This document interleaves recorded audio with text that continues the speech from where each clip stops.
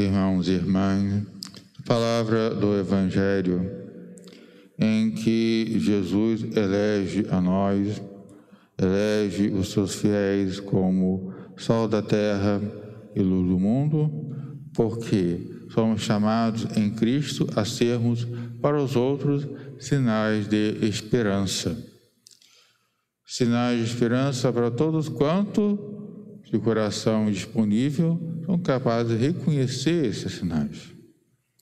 É claro que quando nós entregamos-nos a Deus, nós colocamos em confiança a Ele, seremos sinais de esperança para muitos, mas também seremos sinais de ódio para outros.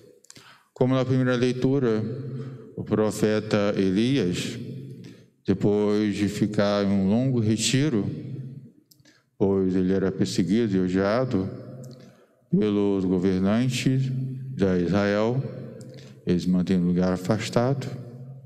E quando o lugar onde ele estava já não proporcionava a ele o que ele precisava para se sustentar, a água do lugar havia secado, ele vai, pelo comando de Deus, a uma localidade pagã onde ele é acolhido por uma viúva que prontamente vai levar água quando ele pede.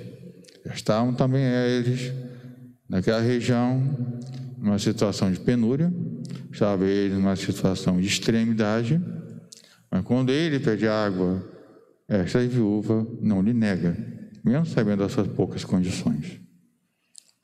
E na confiança da palavra dele, ela lhe presta auxílio e é também ela e sua família sustentada. O que nós podemos aprender nesta essa palavra? Vamos aprender que nós buscamos em Deus o sustento aqui da aquilo que nós precisamos. A abundância que a Sagrada Escritura nos ensina não é essa abundância, vezes, que as pessoas entendem hoje, de ter carro, ter riqueza. Não era essa mudança prometida por Deus. A abundância era que ter o necessário e o indispensável.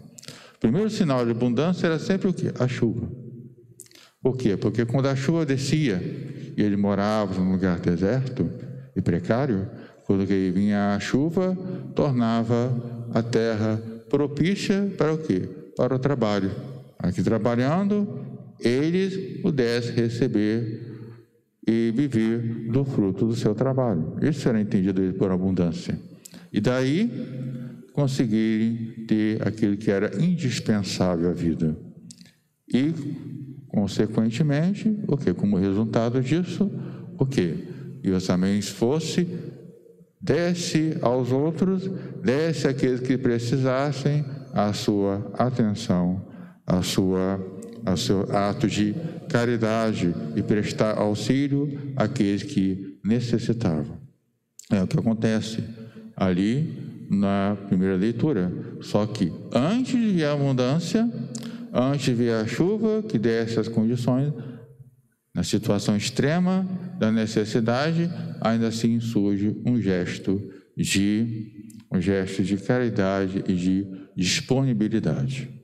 E porque Elia vai justamente ir, ir numa região pagã, porque afinal de contas era Sarepta, na Sidônia, região pagã. Não foi em Israel, onde era a, o lugar onde esperaríamos que Elias fosse. Só que Elias não era bem-vindo em Israel. Aqueles a qual ele era profeta e ele a qual ele deveria prestar auxílio, adorando a, é, transmitindo a palavra de Deus, lá ele era jurado de morte. Foi contra um coração receptivo, foi contra um coração aberto ao sinal da graça de Deus lá entre os pagãos. Então, quando nós somos sinal de esperança, nós somos sol da terra e luz do mundo, somos sinal de esperança para o outro. Às vezes, pessoas que nós nem esperamos sermos sinais. Às vezes, pessoas esperando que sejamos sinais para algumas pessoas, mas aquelas pessoas estão com o coração fechado. e são depois sinais de esperança, sinais de Deus para pessoas que nós nem esperávamos que fôssemos sinais. Fomos sinais de Deus para pessoas que nem, nem, nem suspeitávamos que fosse. Assim acontece com o profeta Elias.